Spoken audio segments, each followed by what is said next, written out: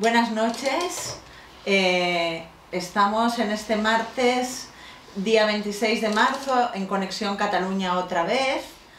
Eh, hoy tengo el gran honor de tener aquí conmigo a Javier Barraicoa y a Xavier Codorniu. Y, y vamos a seguir hablando de un tema que empezamos a hablar la semana pasada y que se está trivializando últimamente, y es la existencia de las checas de checas en Cataluña y en, en toda España.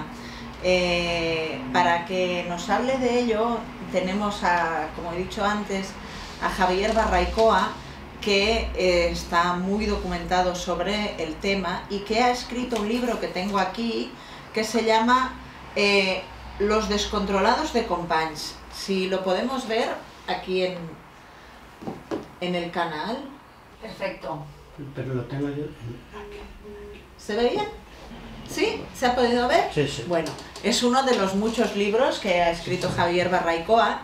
El primero que leí yo, las, las historias de el nacional, historias inventadas del nacionalismo catalán.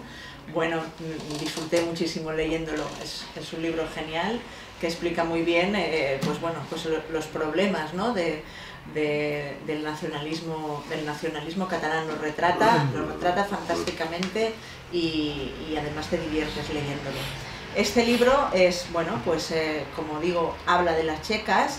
Hoy el programa, mm, pues no, no, no podemos trivializarlo porque es un tema pues muy, muy duro, porque las personas que estuvieron ahí, muchas perdieron la vida, otras fueron torturadas. Como dije yo en el programa pasado, eh, mi abuelo estuvo en una.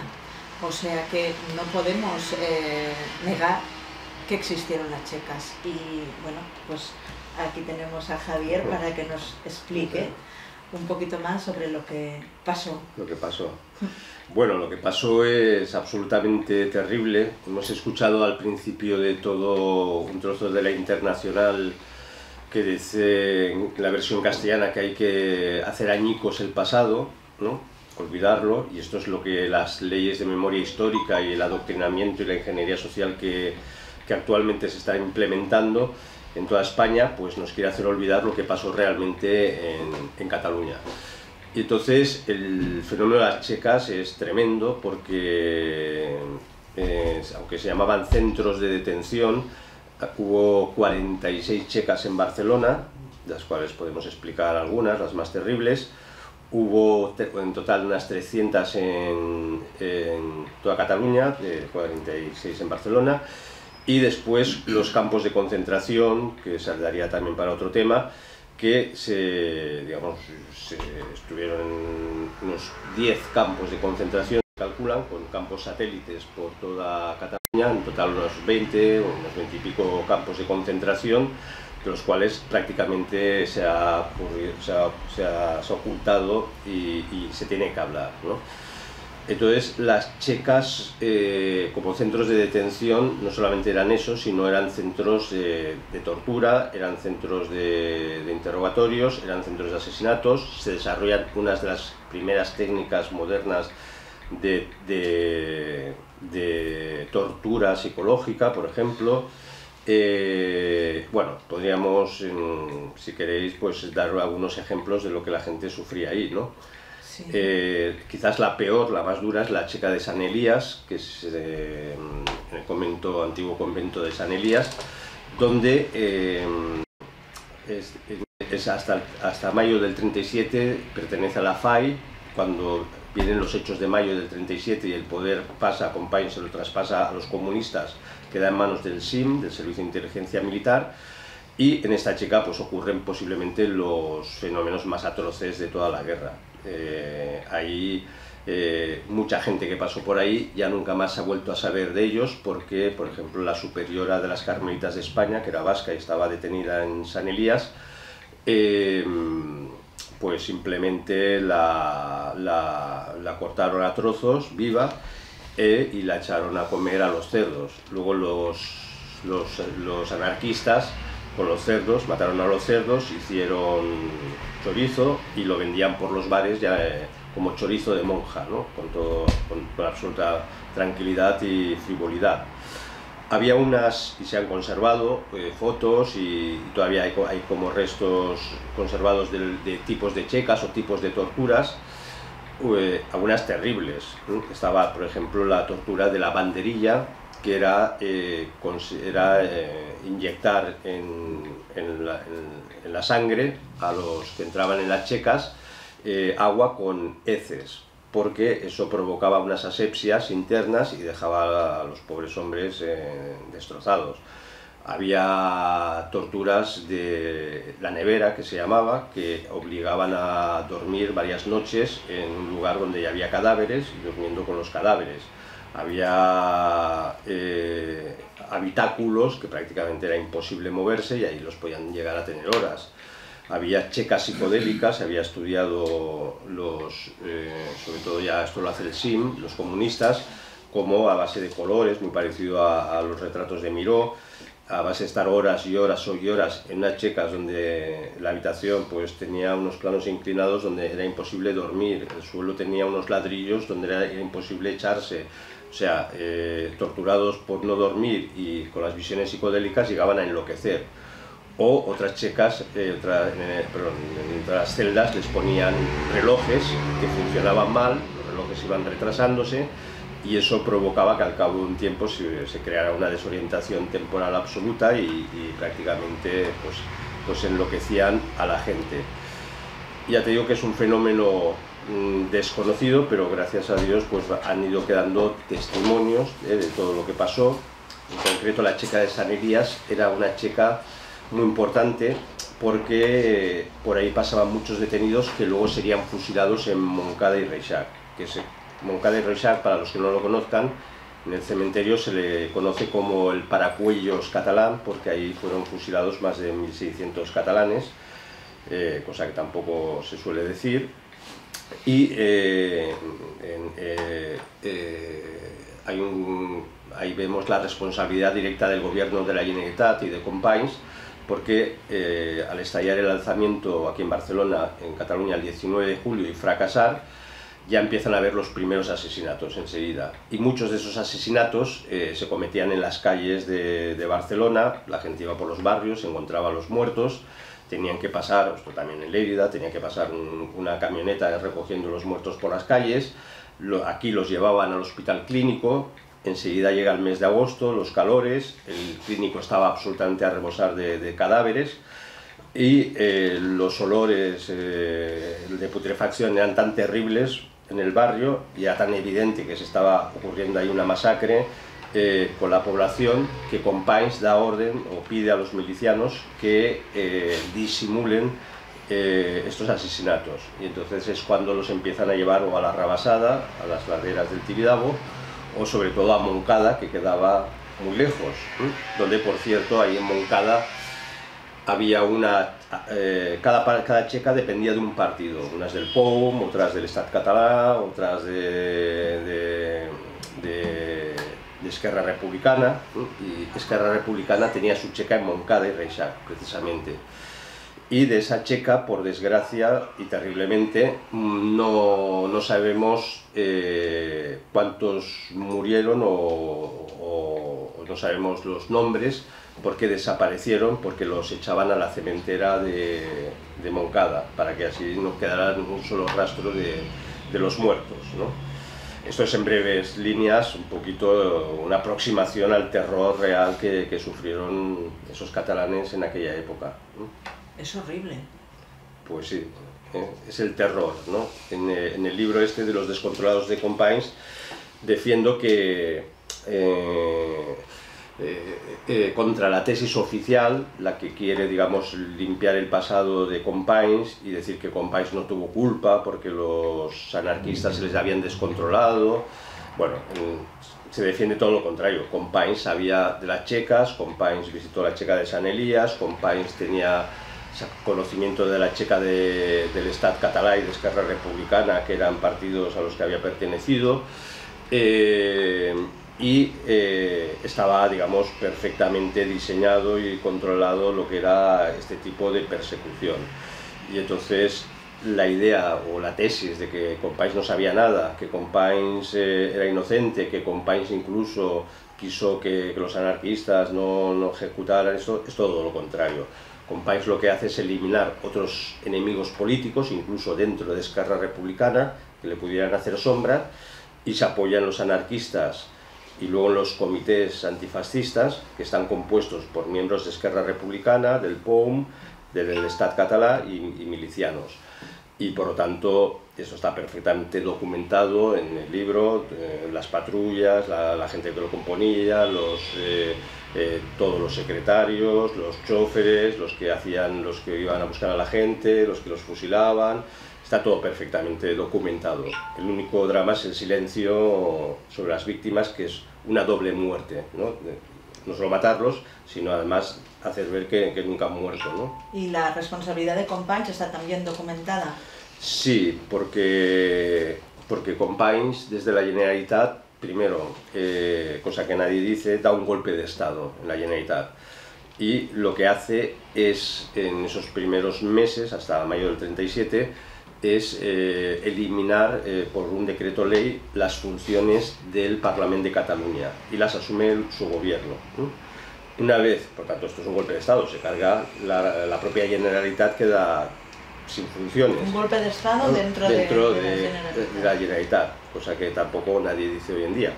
Pero cuando él ya tiene todo el poder en el gobierno, ese poder está distribuido por cuotas con los partidos eh, el POM, insisto, eh, los anarquistas, con, eh, entre los comunistas, y empieza a legislar, a legislar toda una serie de, a decretazos, una serie de condiciones que permiten la persecución. Por ejemplo, se retira toda la Guardia Civil, que ya le habían cambiado el nombre, de Cataluña y la concentran en Barcelona y esto es lo que permite que todas las patrullas eh, milicianos, de milicianos puedan ir con toda impunidad por Cataluña pues asesinando gente a diestro y siniestro.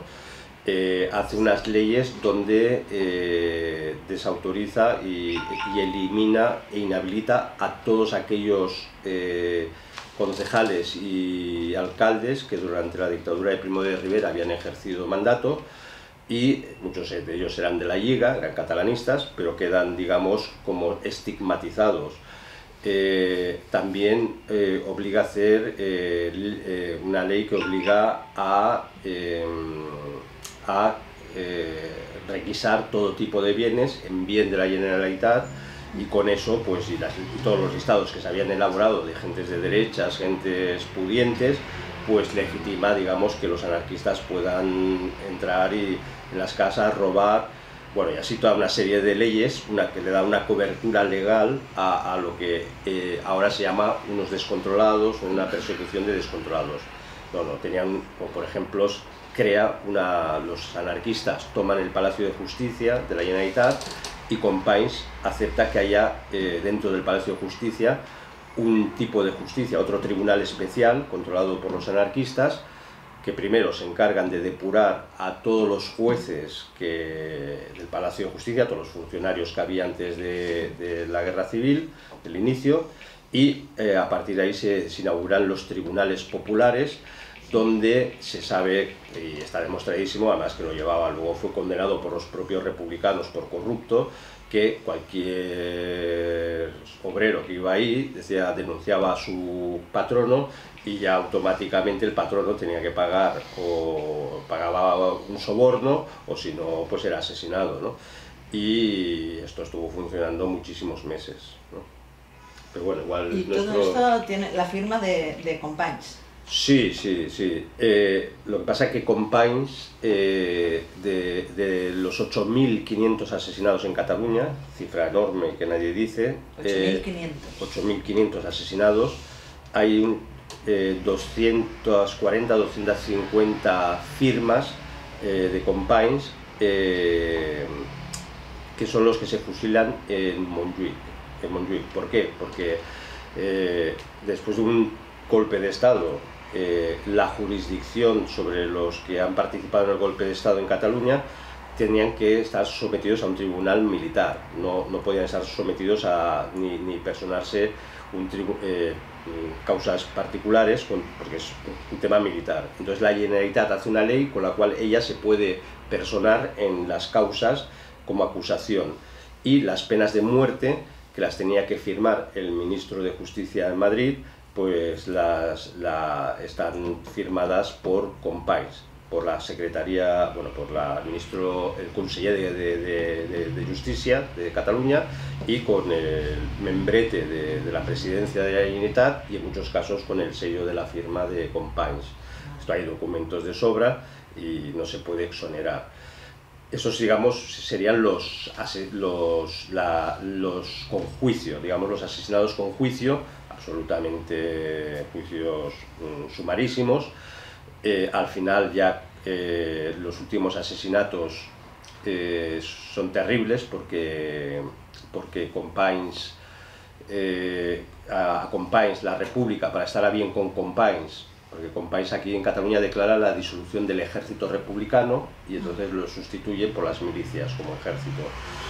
Y la República, para congraciarse con Companys, le regala el castillo de Montjuic y cuando le regala el castillo de Montjuic ponen una inmensa bandera catalana y Compais, que era un histriónico, dice, bueno, eh, no podemos manchar esta bandera catalana y entonces se deja de fusilar en los fosos del, castillo y se bajan abajo a donde estaban unos barrios pues, miserables eh, y entonces anunciaban, este, por la tarde habrá, habrá ejecuciones, entonces dejaban bajar a, bajaba a la gente que iban a ejecutar y las masas, se concentraban ahí masas de gente, muchedumbre, unas turbas, y los linchaban vivos, y el caso, los últimos, pues eh, es conocido que, que, había mujeres embarazadas, se había pedido a Companys que, que perdonara eh, a estas mujeres, y él se negó y fueron pues masacradas por, por las turbas, ¿no?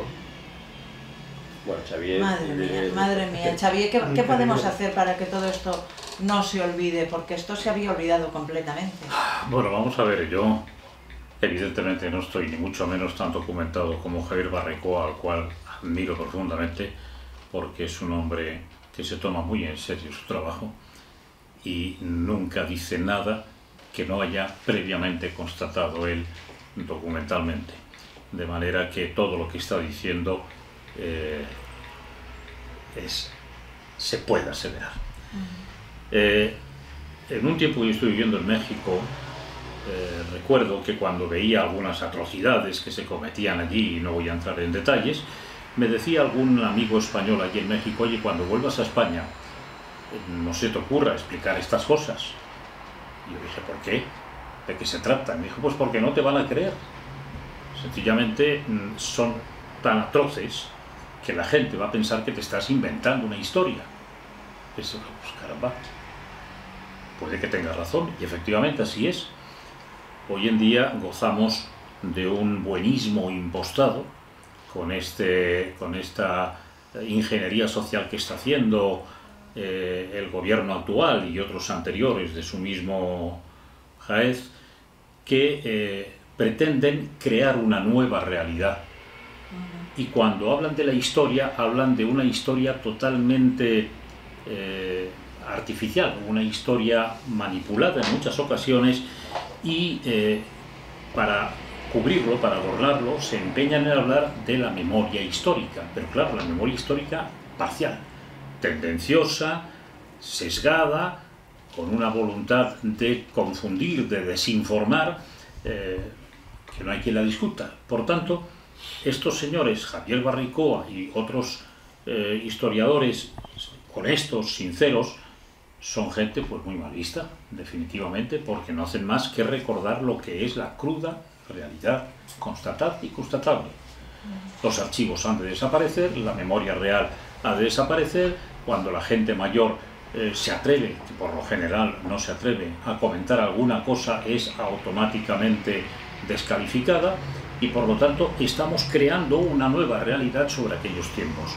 Hoy en día hay quien pone en tela de juicio la existencia de checas en Barcelona. Caramba, yo el otro día estuve en una conferencia que dio Javier Parricoa, precisamente en eh, lo que queda de la checa de San Elías, del convento de San Elías y, se pueden ver los impactos de bala en la ¿Se puede visitar? Sí, sí. La checa de San Elías. Bueno, no sé en qué condiciones se puede visitar. Eh, antiguamente el párroco, ya fallecido, mantuvo perfectamente conservadas todas las checas, las celdas. Ahora ha quedado más reducido, queda una capilla para oración por los mártires y eh, sí que se ve donde se los fusilaba e incluso donde quedaban los restos, y perdón en la expresión, pues del cerebro, del cráneo de, los que eran asesinados y ahí se ve, se puede palpar la, la, todavía la sangre seca y los impactos de, de, bala. Se puede visitar, está en la calle San Elías y actualmente es la parroquia de San Inés en Barcelona. Evidentemente, eh, es propiedad de la Iglesia y por lo tanto no puede intervenir poder civil ahí y eso es algo que, que hay que agradecer a la Iglesia, definitivamente, que hayan querido conservar a modo de reliquia ese trocito, por lo menos ese trocito, en donde se pueden ver los impactos de bala. Y por lo tanto es innegable el hecho de que existieron checas. Y mi abuelo estuvo en una. Mi abuelo estuvo en una y lo salvó un amigo republicano. Él, cuando estalló la guerra, estaba en Barcelona con mi abuela, estaban en el cine y, escucharon ruido y mi abuela le dijo, Paco, que son patardos, tiran patardos. y, mi abuelo le dijo, no, Paca, no son patardos, son tirus. Y bueno, él se vistió de militar y se fue a presentar a Capitanía. Y entonces no llegó a Capitanía porque en la iglesia que hay en eh, la diagonal con Pau Claris, ahí estaba el, último reducto y, ya ahí los republicanos los pararon, se, tuvieron que quedar ahí y no pudieron bajar. Y entonces hasta que se rindieron, y cuando se rindieron fueron bajando todos y, mi, abuelo no, porque yo no lo conocí, mi padre me explicaba que eh, tal como iban bajando, pues eh, les cortaban la cabeza y empezaron a jugar a fútbol con las cabezas de los militares que se, que se rendían ¿no? a los republicanos. Y entonces mi abuelo dijo, yo no bajo, ya subirán a buscarme. Y tuvo tanta suerte que cuando subieron, eh, uno de los que iba adelante era un amigo suyo de toda la vida, de pequeñitos, que estaba en el bando republicano y dijo, Juer, yo respondo por él, él es republicano de toda la vida y salvó la vida.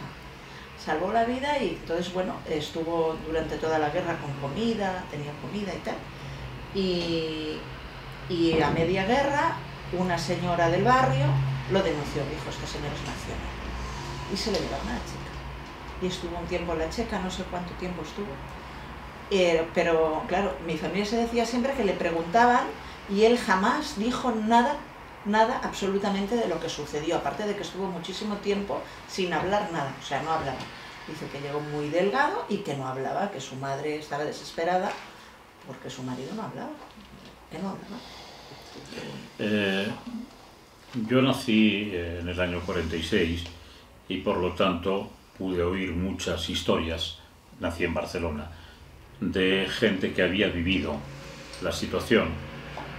Y eh, una cosa que siempre me ha inquietado mucho y quiero preguntarle a Javier Barrecoa es, efectivamente, las checas, muchas de ellas concretamente, la de San Elías, eh, gozaba de ese prestigio de tortura psicológica, eh, desesperación. Eh, me explicaba mi madre que habían checas que estaban inundadas hasta más o menos la altura de las rodillas de las personas, de forma que era imposible dormir en el suelo y además en muchas ocasiones en el suelo habían puestos ladrillos que estaban sujetos con, cemento y estaban verticales, de modo que un pie nunca podía tener eh, su estabilidad completa en el suelo, sino que quedaba sobre un canto.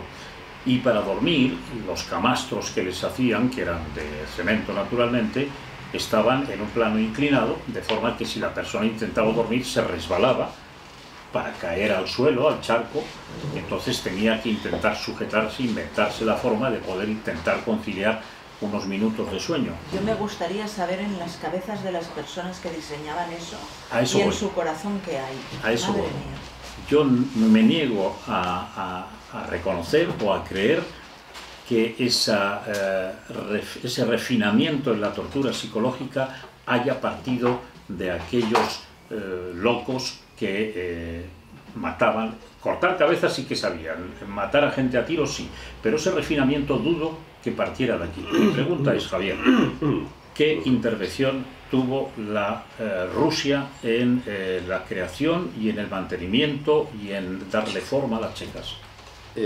Mucho, porque al principio las checas eran algo, digamos, eh, eh, no, tan sistemático como luego vendrían con los, con los soviéticos. Eh, en el 37, en el mayo del 37 se producen los hechos de mayo, donde, como hemos dicho, mm, Compines abandona a los anarquistas, curiosamente los, los deja abandonados, los deja tirados porque eh, los propios anarquistas ven en la Generalitat un enemigo burgués y avisan de que...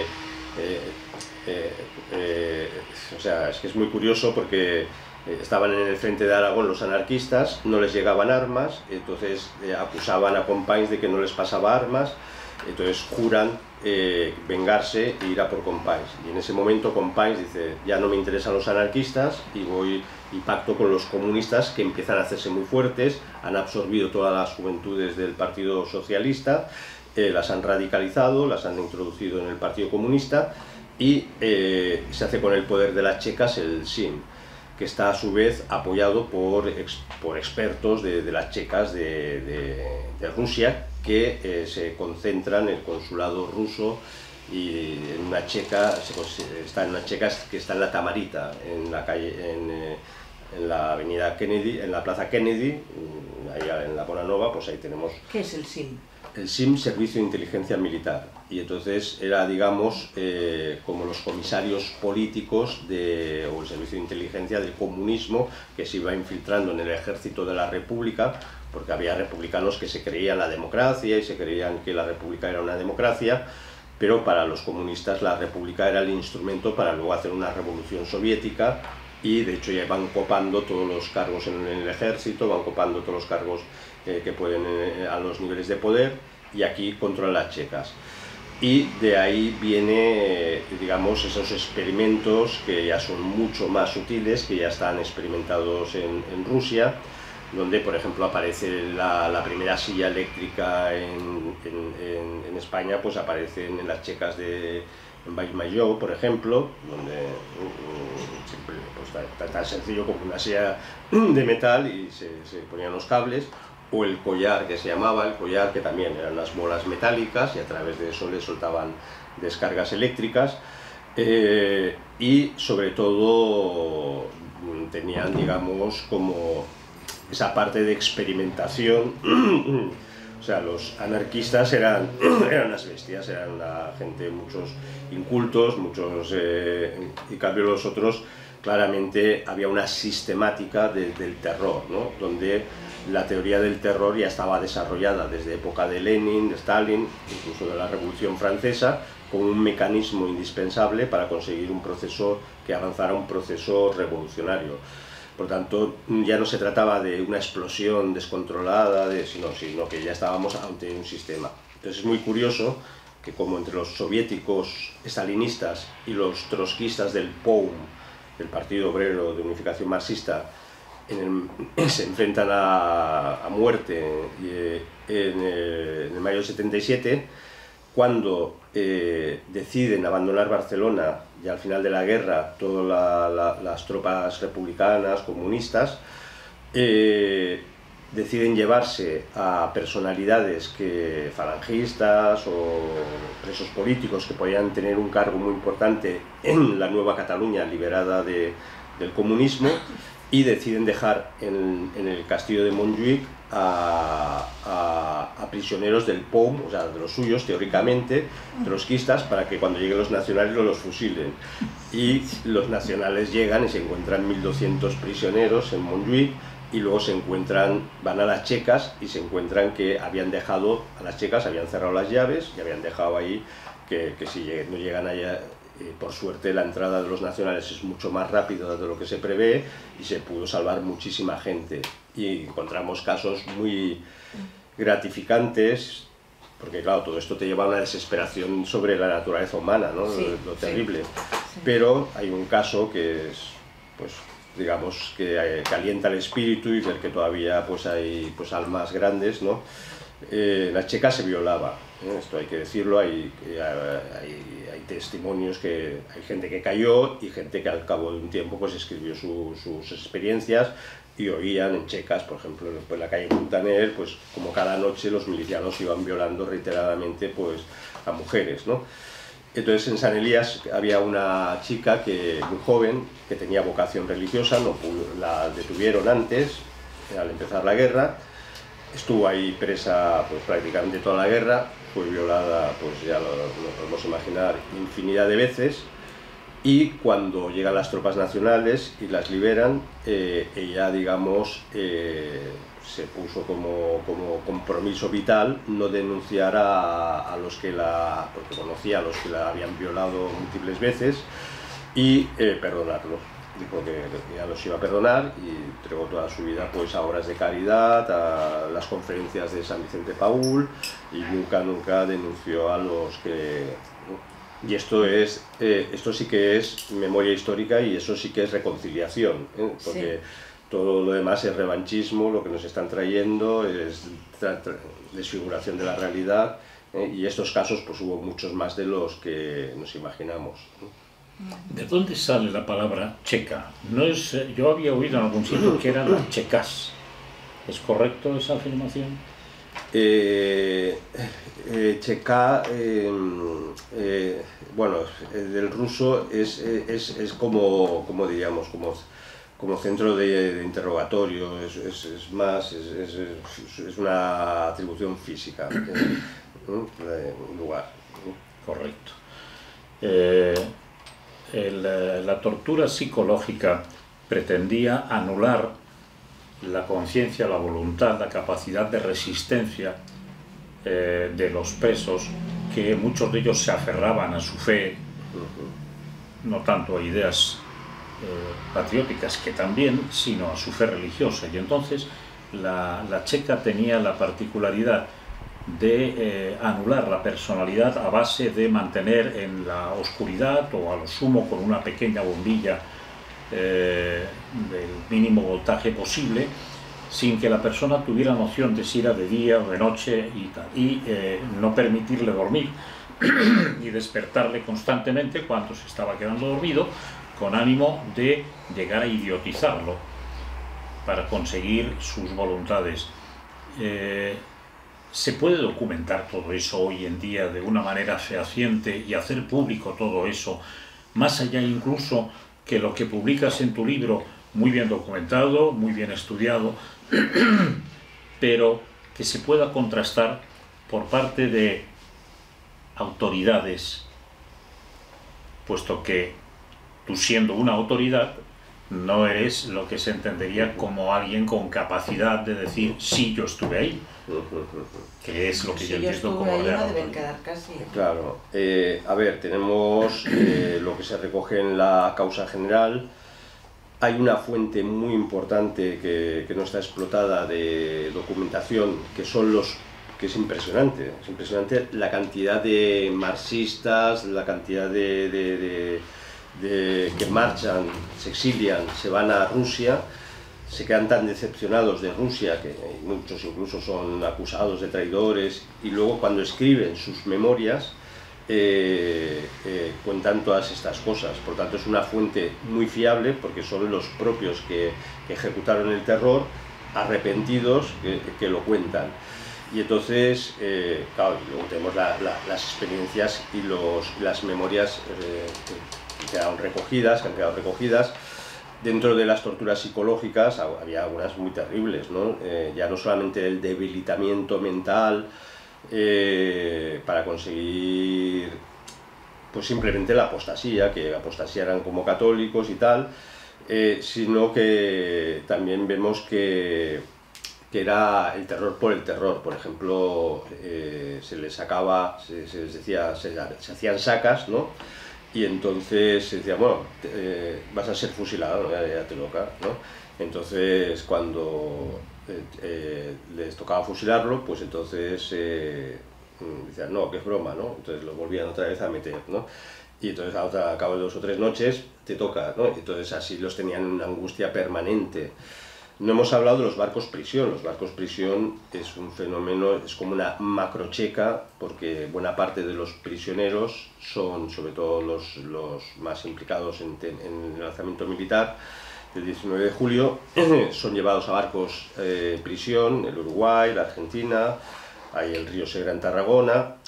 Eh, ahí es terrible, porque el barco prisión del Uruguay Claro, era un lugar, son lugares muy seguros de prisión porque ahí era muy difícil escaparse, ¿no? Se llamaba Uruguay el barco. Sí, Uruguay. El, Uruguay fue terrible porque tenía capacidad para unos 400 camarotes, o sea, prisioneros, para tener 400 prisioneros. Llegan a tener 1.200 mm, prisioneros. Eh, tenían un retrete para todos, para 1.200 prisioneros. La gente se tenía que levantar igual a las 4 o las 5 de la mañana y empezar a hacer cola y estar haciendo cola todo el día para poder ir al retrete.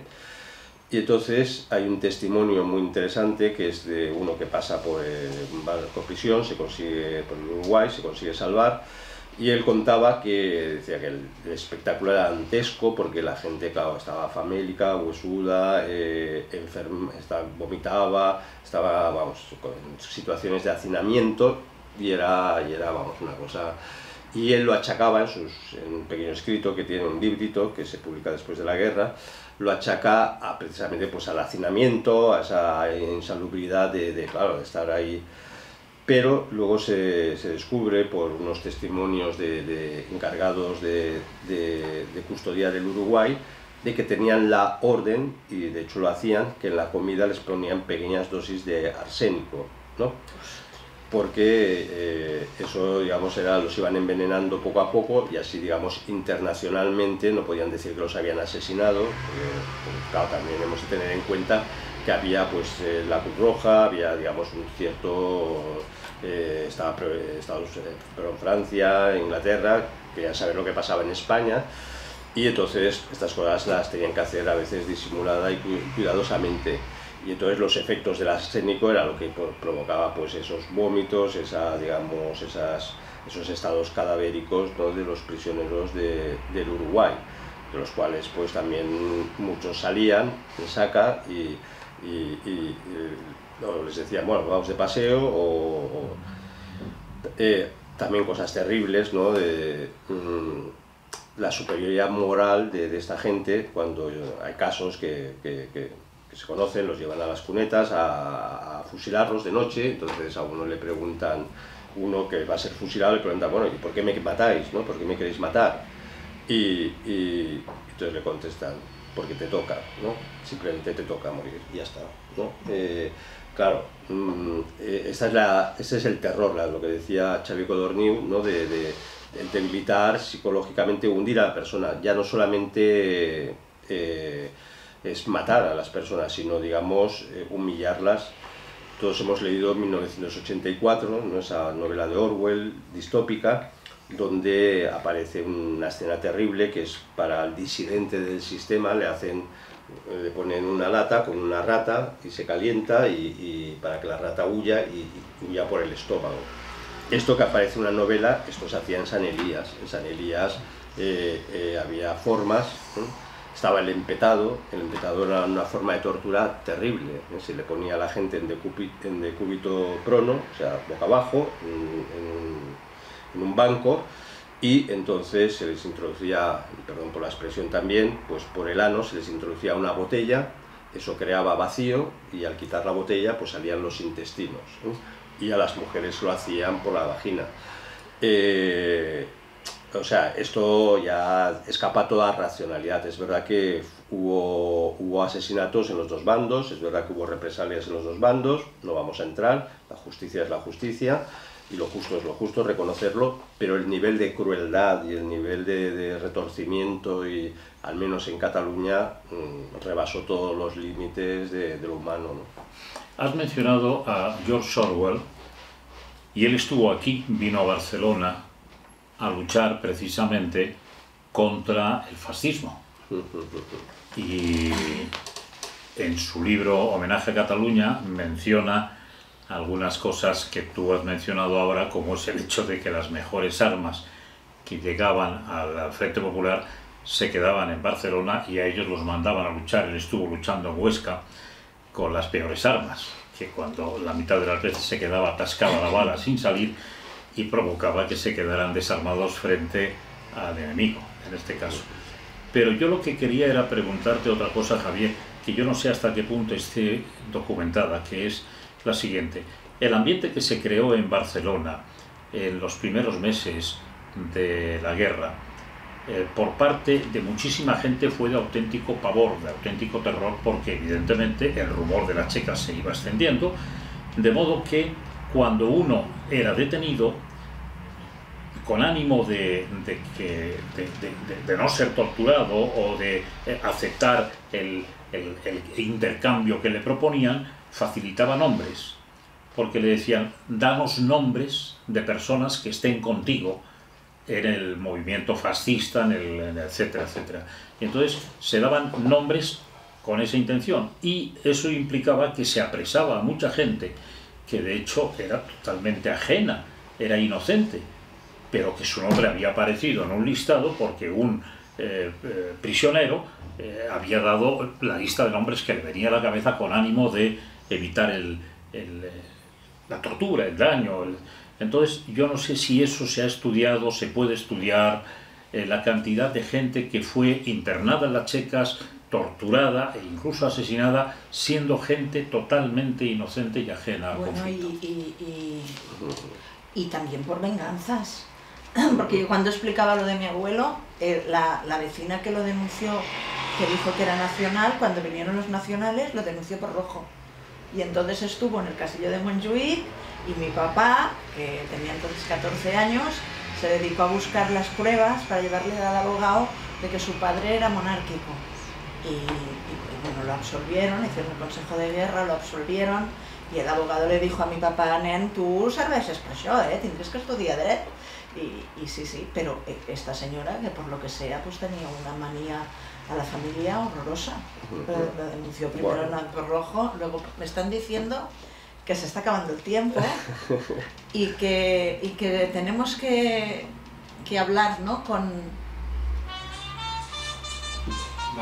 con, con alguien de españoles de a pie, ¿no? Santiago Maricas. Con Santiago. Y nos pone una musiquita animada para que nos cambie la cara y el... Sí, pues evidentemente la, la checa siempre deprime un poco. Yo, yo estaba estaba a punto de llorar.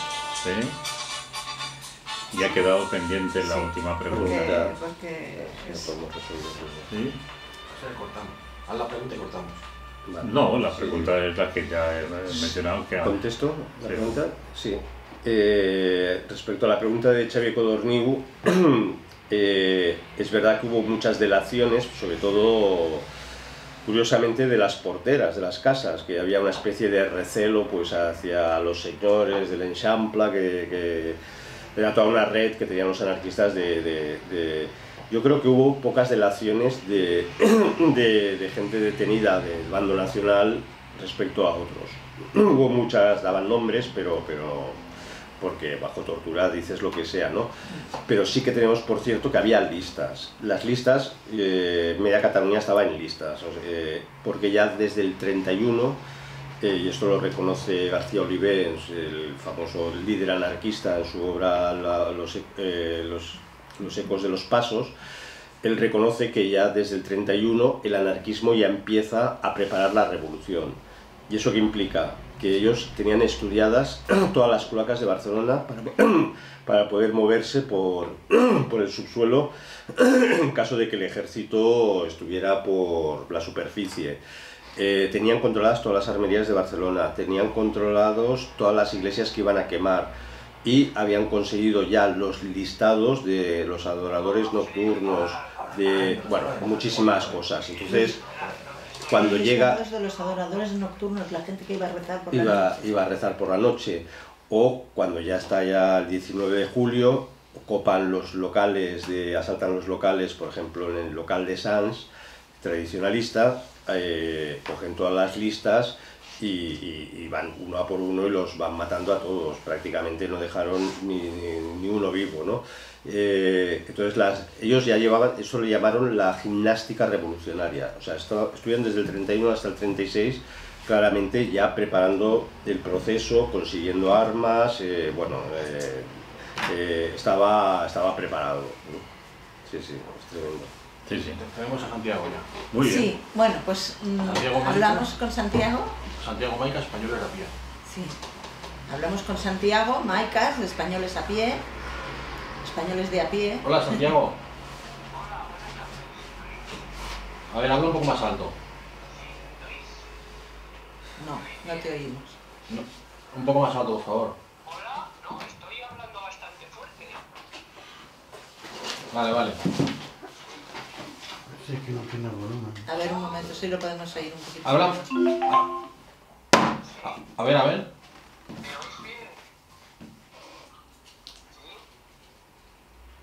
¿Santiago? Ah, ah, se, se oye muy bajo, eh. En esta lo puedo cortar. Y bueno, también se puede cortar. ¿Ahora? Yo sí que oigo, ¿eh? Yo oigo bien. Vale, vale. Sí, sí, ¿Eh? vale, vale. Si callamos, sí. Vale, vale. Pregúntale, pregúntale. Eh, no, que nos explicaras un poquito este, esto tan bonito que se os ha ocurrido, que nos explicaras un poquito de qué va,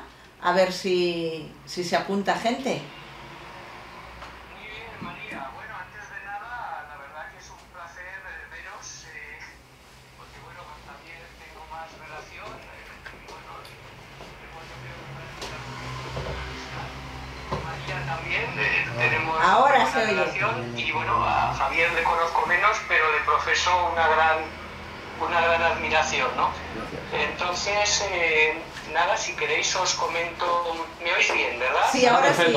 Ahora, sí. Fenomenal. Pues bueno, eh, Xavier lo conoce perfectamente, el proyecto Mis Hermanos Catalanes, porque bueno, realmente nació nació con él, porque bueno, yo me presenté un día en, Barcelona en, una reunión con José Manuel Opazo y con, y con Xavier y bueno, les presenté el proyecto, les gustó, sobre todo Xavier siempre me dio su apoyo y bueno, y aquí estamos, unos meses después ya con el cortometraje realizado y, y bueno, la verdad que es, es un placer poder contarlo, ¿no? Entonces, eh, eh, no quiero ser muy largo, o quiero resumir un poco porque si no podríamos estar aquí mucho tiempo, ¿no? Em, eh, si queréis, bueno, Xavier, como tú conoces un poco el proyecto, porque si yo me pongo a contarlo todo un poco va, a ser un poco rollo, si quieres, Xavier, preguntarme alguna cosa concreta y, y luego pues yo lo desarrollo para que sea un poco más ameno, si te parece. Me parece muy bien. Yo sencillamente lo que he hecho ha sido acompañarte.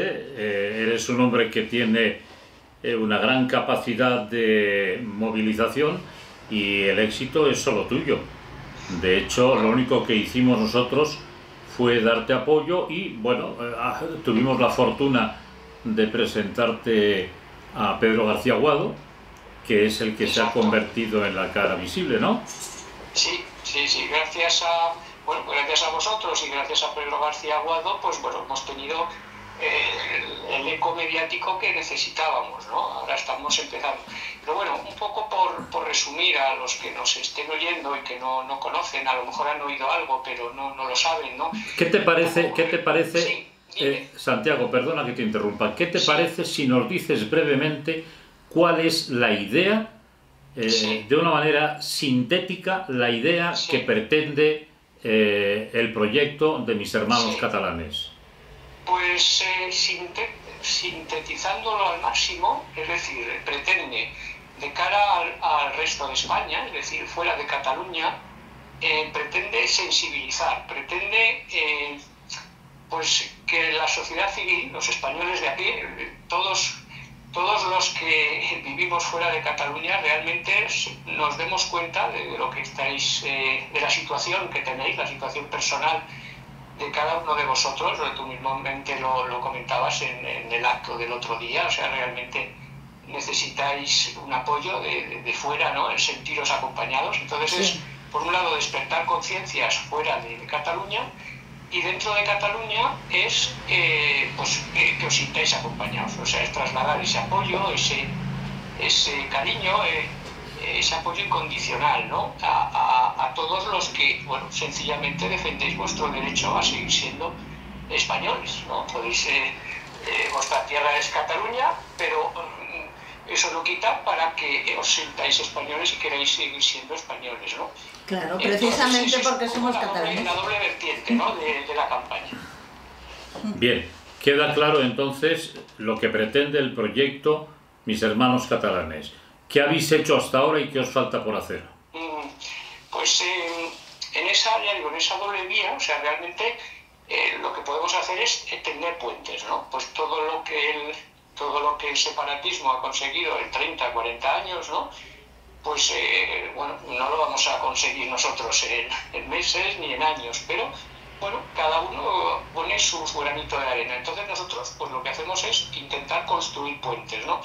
El puente que ahora estamos construyendo pues es la página web, red social, eh, mishermanoscatalanes.es, ¿no? Realmente después de, después de hacer la presentación el 17 de marzo en Madrid, que estuviste, estuviste ahí con nosotros, eh, realmente ahora nos estamos centrando pues, en dar a conocer. ¿no? Este, llevamos meses trabajando porque hacer una, una red social, eh, obviamente no tenemos los medios ni de Facebook ni de Twitter, ¿no? es una red social modesta, pero eh, con un fundamento importante, ¿no? así como Facebook eh, tiene, desarrolla a base de las solicitudes de amistad, ¿no? hace amigos, nosotros, en vez de eso, es eh, hermanamiento. Es decir, realmente em, el fondo es mucho más, es mucho más importante. ¿En qué consiste? El hermanamiento es, ¿en qué consiste? Pues es sencillamente es, es un compromiso. Realmente es un compromiso pues entre un catalán y un no catalán, eh, de que bueno, realmente somos compatriotas, de que queremos seguir siéndolo y que no vamos a permitir pues, que nos conviertan en, extranjeros en nuestra propia tierra. ¿no? Oye, perdona, es, eh, es parecido... Sí, perdona. Perdona, ¿es parecido a lo de los, los, mm, los proyectos para estudiar, por ejemplo, que se viene una estudiante de un sitio a otro o así? No, me comentado un poco, a ver, eh, todo depende de lo que quieran decir. Por ejemplo, yo imagínate, yo soy aragonés, ¿no? Y yo me puedo hermanar pues con dos catalanes o con cuatro o con ocho, ¿no? Eh, pues eh, con uno a lo mejor pues eh, tener más afinidades, porque aquí se, como se ven las, las aficiones que tiene cada uno, pues, pues empiezas por las aficiones y bueno, pues te vas conociendo, ¿no?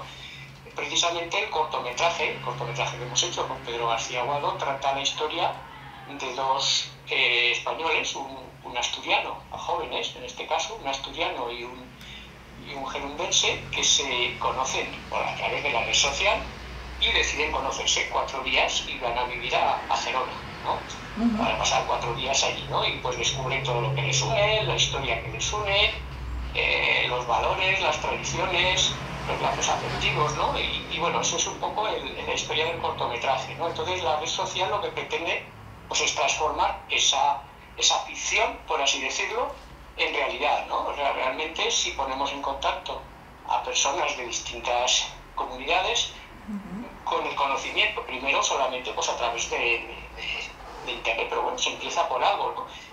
Se empieza por eso y luego puede acabar, puede acabar pues eh, yéndose a conocer. Si por ejemplo alguien de Gerona pues visitaba Madrid, pues allí, eh, a lo mejor allí ya tiene un hermano, ¿no? Pues lo va a visitar.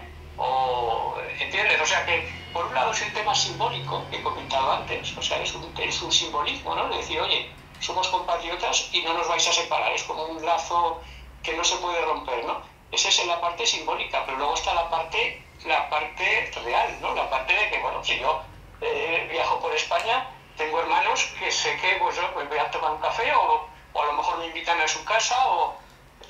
Oye, a, a, mí me parece fantástico, ¿eh? Me parece que me estás animando y todo, que con lo triste que me había puesto pensando en, lo que estábamos hablando con, con Javier Barraicoa y Xavier y, esto me está animando muchísimo, me están entrando ganas de, de, moverme, de, ir un día a Madrid, otro día hoy, qué bien, ¿no?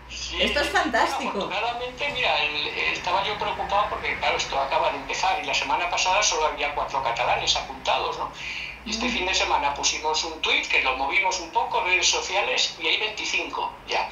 Puede parecer poco, pero bueno, es que acabamos. Eh, esperamos dentro, esto ya digo, esto, es, esto no es una carrera de velocidad. Nosotros, y yo con esos 25, de esos 25 catalanes, yo ahora hablo por teléfono ya con unos 10. O sea, yo mi idea, ah, claro, cuando sean 300 eh, no voy, no voy a poder tener, hablar con todos, ¿no? Pero se pretende que sea algo pues muy, muy casero, ¿no? Muy, muy acogedor. Santiago, ¿me, das Me, das permiso para hablar del autobús? Eh, sí, ese es otro puente. Es decir, hemos hablado del primer puente, eh, que es el más, el más importante. Si, si, te, si yo pusiera una jerarquía, el más importante es el, la relación personal entre las personas. Y otro puente a futuro es el del autobús. Entonces, si quieres, comentamos. Bien, gracias. No, se trata de que una vez que hayáis conseguido reunir el dinero necesario, la idea es fletar un autobús con eh, los logotipos y los mensajes de mis hermanos catalanes para exportar Cataluña al resto de España. ¿Te gusta el término? Eh, sí, es, Sí, exacto, hay muchas formas de decirlo. Yo como lo suelo decir, pues es, es, es, es, el símbolo, o sea, lo que pretendemos es que un autobús que recorra España y salga pues, de Asturias o de Madrid o de cualquier otro sitio, sea el símbolo de, la transmisión de todo el cariño y el apoyo incondicional del resto de españoles a Cataluña. ¿no? O sea, si por ejemplo vamos un día a Toledo ¿no? y organizamos allí pues, una reunión y pues invitaremos, bueno, o sea, a ti, a Xavier Barrenco, a, Eso es. a quien pueda venir. Y a mí, a mí también. No. Y a María, Ponente Javier Barrenco. Pensá que me dejaba fuera. Claro, hace falta dinero, pero bueno, si lo conseguimos, pues eso es eh, durante un mes entero, bueno, pues cada dos días, porque cada día eso sería una locura, pero cada dos o tres días en una ciudad o en un pueblo, un acto eh, pues cultural sobre todo, pues un poco de historia, hablar de la, de la historia que nos une, eh, sí, sobre todo yo creo que lo podemos basar más en, en temas de historia bueno, y, de, y de valores y de, tradiciones ¿no? que nos unen. ¿no? Y, eh, y, bueno, pues recoger, pues incluso pues se puede hacer, pues recoger escritos de, de, muchos españoles, hay muchísimos españoles que tienen ganas de hacer llegar a, Cataluña ese cariño, ¿no? Entonces, bueno, se pueden acercar al autobús, escribir unos mensajes, ya digo, es un simbolismo y, bueno, de que realmente lo que decía antes, despertar, despertar las conciencias de, muchos españoles que no nos damos cuenta o no se dan cuenta de lo que pasa en Cataluña y trasladar ese cariño y ese apoyo que lo hay y, seguro que lo encontraremos, trasladarlo a Cataluña y acabar pues visitando varias localidades catalanas y, ¿por qué no?, pues acabar en, la estatua de Colón, eh, por ejemplo, ¿no?, si pudiéramos, y la alcaldesa nos deja. ¿Con qué apoyos contáis hasta ahora? Bueno, eh, estamos, estamos hablando con varias fundaciones, lo que pasa que prefiero no, no decir su nombre porque como son fundaciones importantes y tal, prefieren que su nombre pues no se mencione hasta que hasta que realmente la cosa esté esté consolidada. ¿Pero son entidades de dentro o de fuera de Cataluña? Bueno, yo en concreto eh, estoy pensando en una catalana y otra nacional. Entiendo. Pero ya digo, prefiero no comentarlo porque eh, como no está cerrado, pues igual no, no, les, no, les, no les sienta bien ¿no? que, lo, que lo comente. Eh, Pedro García Aguado ha tenido, mm, últimamente ha salido mucho en prensa hablando del proyecto y lo ha estado explicando. ¿Crees que es suficiente eso o hace falta más apoyo para eh, eh, que se hable del proyecto en el resto de España? Bueno, ningún apoyo, ningún apoyo sobra, cuanto más mejor, ¿no? Con Pedro García Aguado intentamos concentrarlo pues en los últimos días, antes del día 17, pues lo concentramos, pues fue a Es Radio, fue en Economía, fue a periodista digital, bueno, aquellos medios que nos abrieron, que nos abrieron las puertas, ¿no?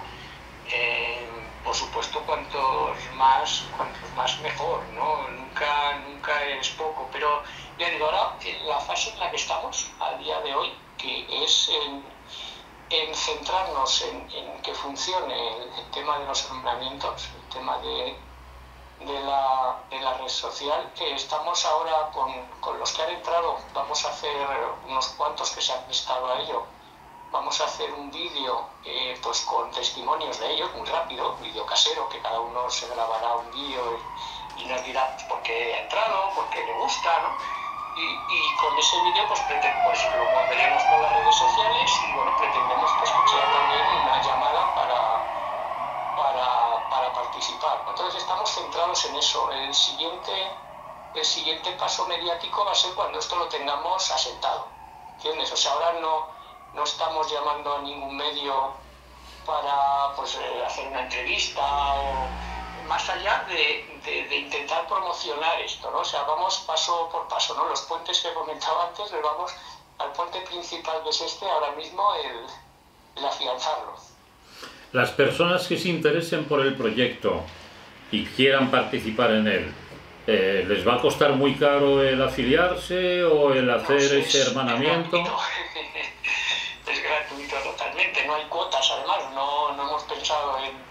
No, es como Facebook o Twitter, no, no cuesta dinero, tú te, tú te pones unos datos, en este caso muy pocos datos personales, y no, no, cuesta, no cuesta dinero, es, eh, ya digo, la, la página web, porque es que además es que es página web, no solo es red social, es página web en la cual se cuentan pues todas las noticias. Santiago. es necesario registrarse para estar al tanto de, porque puedes entrar sin registrarte en la página web. Santiago, para quien nos esté oyendo y tenga interés en verlo eso, ¿cuál es la página web? Exacto, pues es mishermanoscatalanes.es, tan sencillo como eso, que es el proyecto mishermanoscatalanes.es. ¿eh? Entonces entraría directamente en la página web, es decir, si no quiere eh, eh poner mishermanoscatalanes.es, entra en la página web, ahí verá que es una página web que se ve que es bastante trabajada. De hecho, eh, por ejemplo, ahí se puede ver el cortometraje completo. es un cortometraje de, de, 21 minutos, el que he comentado antes, del asturiano y el gerundense que se conocen, y Pedro García Aguado, que también, que también interviene. ¿no?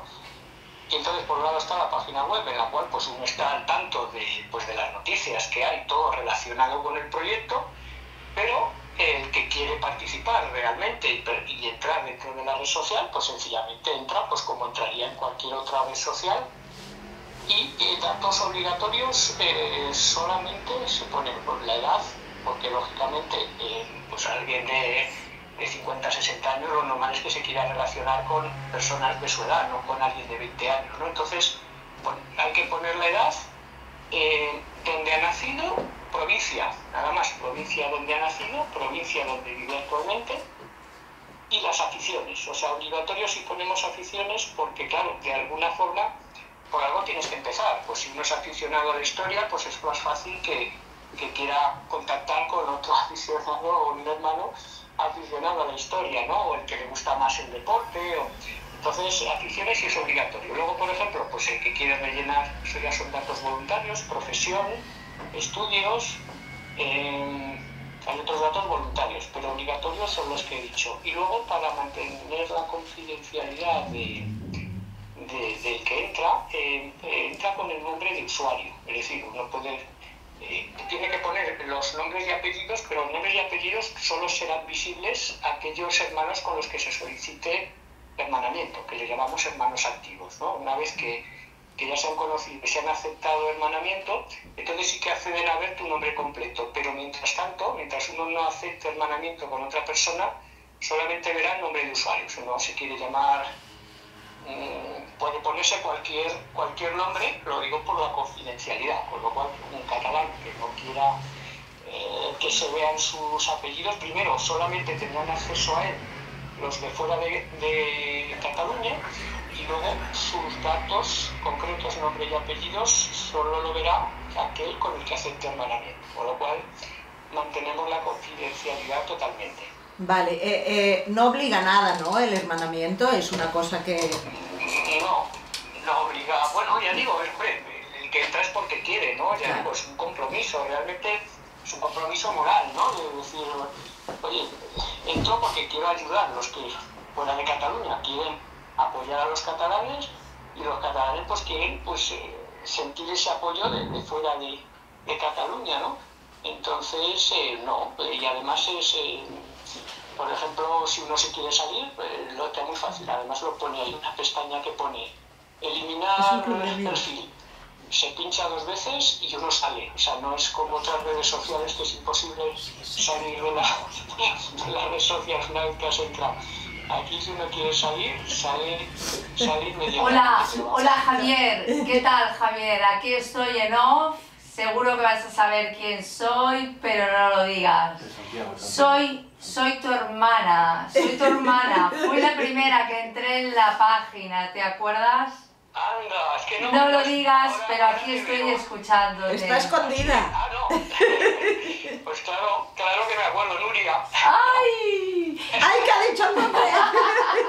No pasa nada. Eh, quiero, quiero decir que, bueno, que sí que es verdad que esa confidencialidad existe que al principio hubo un problema técnico, no, no lo podíais arreglar, pero sí, realmente puedes ser hermano de alguien sin saber realmente quién eres. Y eso me parece bastante importante. Sí, sí, sí, sí. Está muy bien. yo, yo, creo que la primera, porque como nos conocíamos, que dice, oye, entra y prueba, prueba a ver si esto funciona, no funciona, y, bueno, tú como estás acostumbrada a las redes sociales, entraste enseguida y, y te lo agradezco. Y bueno, tiene una parte bastante interesante donde tú puedes hacer publicaciones. Sí, exacto. exacto. Si nos explicas un poquito más. Sí, pues mira, a ver, no, es tan sofisticado como otras redes sociales que cuestan millones de euros en tu desarrollo, ¿no? Lo nuestro es más sencillo, pero permite pues publicar pues fotos, enlaces eh, vídeos, eh, claro, con una memoria limitada, claro, no podemos poner un vídeo de, de, 20, de 20 megas, ¿no? Pero publicaciones se pueden hacer, se puede retuitear también, es decir, yo puedo ver la publicación que ha puesto eh, Nuria y, y, y retuitearla, pincho y entonces ya lo paso a, mi, a mis publicaciones, ¿no? Estamos ahora intentando, que eso todavía no lo hemos conseguido, que se pueda exportar, es decir, pues que se pueda, pero bueno, estamos en ello, ¿no? Que se pueda pues las, eh, las publicaciones eh, pasar a WhatsApp, ¿no? Pero bueno, eso ya son cosas que, que vamos a ir desarrollando sobre la marcha y que bueno, es importante las publicaciones porque claro, para ver con quién me quiero hermanar, con quién tengo más, mm, más afinidades, pues, eh, pues es lógico, mi, antes de hermanarte con alguien, pues ves lo que, has, ves lo que ha publicado, ver cuáles son sus inquietudes, ¿no? Y, y bueno, luego eh, la primera, el primer contacto puede ser por mensajes, se pueden enviar mensajes sin estar hermanados, sencillamente pues eh, mandas mensajes, saludas, preguntas y, y, un poco es lo previo, ¿no? Y ya cuando pues, has tenido esos primeros contactos, has visto eh, las publicaciones que tiene, has mantenido algún, algún mensaje, pues, eh, pues ya sencillamente pinchas un botoncito que pone solicita hermanamiento, ¿no? Y entonces le llega un correo electrónico de aviso a, a esa persona y entonces, bueno, pues eh, tiene la opción de, de, aceptarlo o no aceptarlo, ¿no? no es, pues en eso es como, la idea ya digo, es como, como Facebook, pero con un contenido, le digo, esto no es para contar hoy me he levantado y, y hacerse 20 fotos, eh, para eso están otras redes sociales. Esto pues es más un contenido pues de, apoyo y, realmente pues lo, más importante es ese, ese, simbolismo, ¿no? Sí, yo, yo a mí me encanta, creo que es una idea genial, además muy novedosa pero muy sencilla también. Y, y, y yo más, más que, la, que, que, que, sí que es muy importante la parte de, de Facebook y de Internet y todo esto, pero yo lo que veo aquí es una gran posibilidad de conocimiento personal entre, entre, entre personas de, de, Cataluña y personas de fuera de Cataluña que, pueden, que pueden llegar a tener una, una gran amistad, que pueden verse, que pueden ir un día a comer a, Zaragoza y, otro día a comer a Barcelona. no, es como Facebook. Facebook, pues a lo mejor habla quien tiene 200 amigos, ¿no? Sí. O, mil. Esto no, no tiene sentido. Aquí, pues oye, si ya tienes eh, cinco hermanos, pues oye, pues o, diez, ¿no? Pero es, es algo vis a vis. O sea, además no, no es la idea de grupos, de hacer grupos de 10 o de 15, no, es vis a vis. Es cierto que cada uno puede tener varios, varios hermanos, pues puedes tener 5, 10, pero claro, no vas a tener 200. No, es lo que vaya saliendo, lo que, lo que vaya saliendo. A lo mejor uno tendrá 10 y otro tendrá 1 o 3. O es una cosa que además puede tener, puede tener una parte muy cultural y puede tener una parte muy lúdica. Eh, yo, a mí me parece una idea genial, de verdad. Me, me parece una idea genial, genial. El antiseparatismo, el conocimiento, el conocimiento que termina con, con la ignorancia y la estupidez del separatismo. A mí me, parece fantástico, de verdad. ¿eh? La, la, idea, fíjate, es que cada hermanamiento, es decir, eh, insignificante que parezca, ¿no? Que bueno, un hermanamiento pues, entre dos personas, pretendemos que sea pues una especie como un dique de, contención ¿no? contra el separatismo. ¿no? Eso es como Ya digo, un compromiso personal que bueno, seguramente Javier, Javier Barreco, que conoce la historia, no sé si a lo mejor existe un paralelismo, eso le suena con algo que algo de, la historia, ¿no? Pero, pero no sé, yo lo veo, ya digo, como algo Si te contara la cantidad de de, matrimonios que salieron después de la guerra civil, de los catalanes que huían de aquí, se iban a Navarra y se iban a Guipúzcoa y, de ahí salieron muchos hermanamientos y muchos matrimonios. Eso ya más que hermanamientos, ¿verdad? Sí, sí, sí, sí, sí, sí. Pero que es verdad que, que, que muchas gentes de toda España se unieron ¿no? en trincheras y y, y, eso es lo que tú decías, un valor moral y un fundamento patrio, pues de un valor incalculable, ¿no? Yo sé el origen, Javier, si te digo la verdad, el, el, origen cuando yo pensé en este tema, o sea, realmente era el, el personal, es decir, es poder eh, ver y juntarte con otro compatriota y decir, oye, que yo estoy contigo que yo te apoyo, que puedes contar conmigo, ¿no? Y, y claro, entre dos personas, pues a lo mejor no es mucho, pero si somos miles de personas los que somos capaces de movilizarnos, eso no lo mueve nadie. Sí, sí, yo os propondré, dentro de este proyecto del autobús, aquí un catalán que era independentista, que conocimos y ha hecho una labor estupenda, que ha escrito un libro de cómo me, me, hice español visitando 300 bares, ¿no? O sea, se pasó viajando por España, eh, tomando copas por los bares, hablando con la gente y se acabó dando cuenta que eran todos iguales y que todos éramos hermanos y... Joan Planas. Joan Planas, ¿eh? todo un chaval estupendo y muy batallado. O sea que existe, eso que decimos a veces que no se puede convencer a un separatista, sí que se puede, ¿no? Se puede, se puede. pero millones.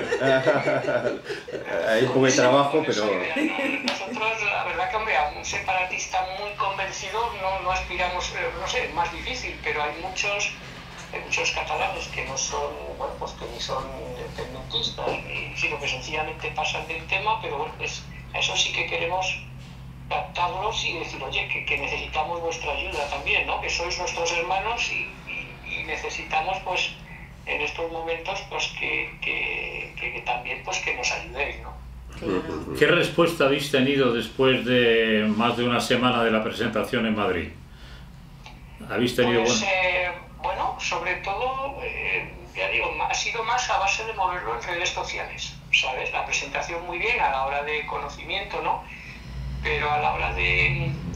Eh, esto es día a día, o sea, realmente ahora mismo, si ahora mismo que estamos aquí, pues dejamos ahora de, de remar o mi asociación y tal, esto se muere, es decir, eh, está empezando, ¿no? Es como un recién nacido que no le puedes, eh, necesita cuidados todos los días, ¿no? Entonces ahora en redes sociales, gracias a movernos, pero eso todos los días en redes sociales e intentarlo es con lo que estamos teniendo el el, tirón que, que, buscamos, ¿sabes? O sea, solo el acto por sí estuvo muy bien, pero si no seguimos todos los días remando, no serviría, no había servido de nada, ¿sabes? O sea, fue un paso más importante, pero un paso. Claro. Muy bueno, bien. pues oye, pues remando nos quedamos y, y, y buenas noches. Muchas gracias. Recordar mishermanoscatalanes.es, que es muy fácil. Y, y nada, ahí, ahí os esperamos a todos los que os sintáis hermanos. Felicidades por el proyecto, hermanito. Y, y oye, y, y, nada, que, que gracias, gracias. Gracias, gracias desde Cataluña. Gracias. Un saludo, Santiago. Y Javier, y un fuerte abrazo a todos. Un abrazo. Un abrazo. Hasta pronto. Hasta pronto. Ponemos una musiquita ahora, que nos anime un poco. Ya estamos El un poco paso más doble. animados, ¿no? El paso doble, así ¿El de paso doble? hermanamiento Venga, vamos a de poner todos los pueblos de España. O una sevillana, como quieras. doble. O una sevillana, también es buena idea. ¿Qué ponemos, José? ¿Paso doble o sevillana? Que tenga a mano. Está loco buscando. O un torcico. Zorcico, hombre. ¿No? Los me quedan bonitos. o sea, Los eran bonitos los zorcicos, una quieras. preciosa. En, en pasado hablas, en pretérito. Bueno, pasa que ahora la gente no los conoce, no ¿Qué son los canta. trocicos? Zorcico es un canto vasco, navarro, eh, sí, muy poético, muy romántico, ¿no? Evocador. ¿Cómo se llama eso? Por Dios. Zorcico, Zorcico. zorcico. Torcico. A ver, vamos a ver. Pensando hacerme Lo rico como lo- inmigrante, me fui a otras tierras. Y de las mozas una quedó llorando por mi querer. Vuelve ya al caserío, no llores más mujer. bajar, bajar. Piensa que en pocos años muy rico me de hacer. Y si me esperas. ¿Es este?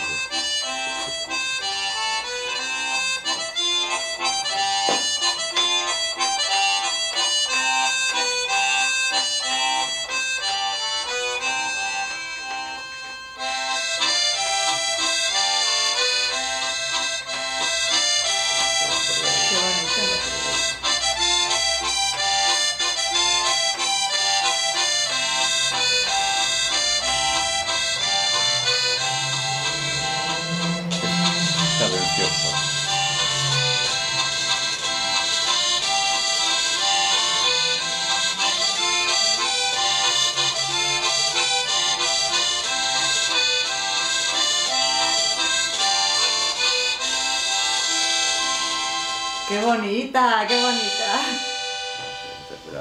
Buenas noches. Muy bonito, he cantado, queda una música muy... Es muy- precioso, ¿eh? Sí, sí. Sorcico se llama. Sí, tiene este tono así melancólico, alegre. Z, O,